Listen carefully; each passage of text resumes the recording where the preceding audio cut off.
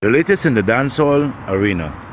Jamaican female dancehall artist Shenseea was driving in a car in the island of St. Martin when the car was struck by an unknown drunk driver who was driving on the other side of the road.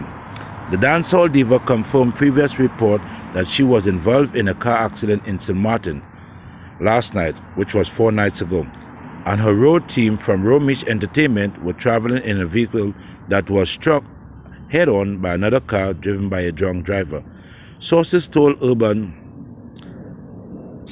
that at least one person was taken to a local hospital, but the Shenyeng Anthem DJ suffered some minor injury and is a bit shaken up.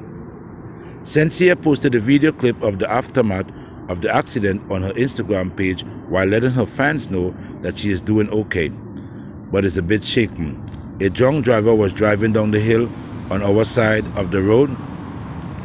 Right off we vehicle, she wrote, I'm always grateful to God and this is now another one of my testimony. My team is in pain, but we are alive. I hit my head, face, way, bruised,